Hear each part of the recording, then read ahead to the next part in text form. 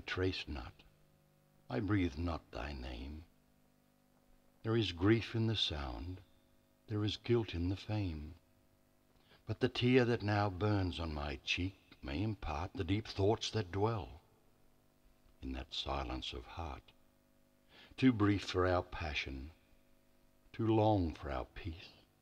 Were those hours, can their joy or their bitterness cease? We repent, we abjure, we will break from our chain, We will part, we will fly to, united again. Oh, thine be the gladness, and mine be the guilt. Forgive me, adored one, forsake if thou wilt.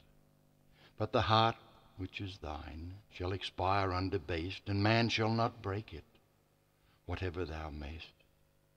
And stern to the haughty, but humble to thee, This soul in its bitterest blackness shall be.